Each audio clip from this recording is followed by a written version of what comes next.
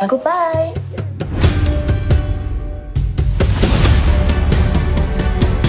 Welcome to the Taj, home to statesmen and celebrities for over a century. Wow. Remember always, here at the Taj, Thank you. We hope you'll have a good stay. guest is God. Oh, look at that. It's amazing. There's a whole other room back here. Let's move.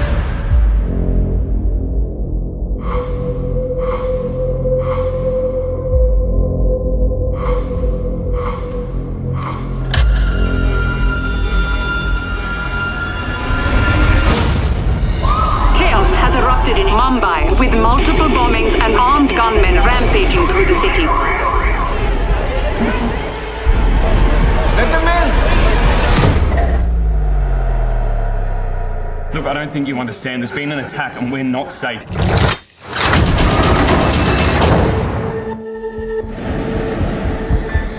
Switch off the lights. Under the tables. Terrorists have laid siege to the landmark Taj. guests and over 500 staff trapped inside.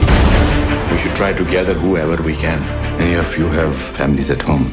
There is no shame in leaving. I've been here 35 years. This is my home.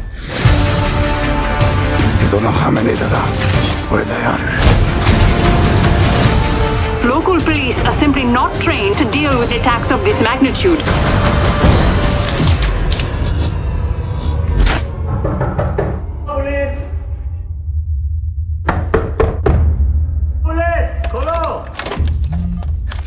Don't open the door, it's them!